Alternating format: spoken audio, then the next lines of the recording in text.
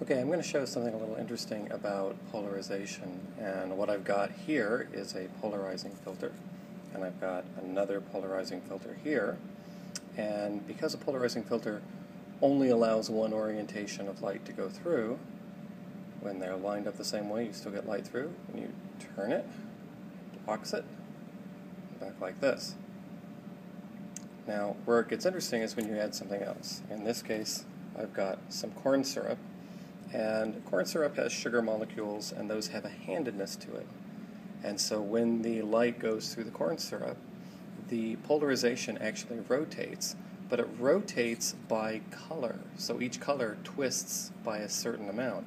So when you put a polarizing filter above it, you select out one color.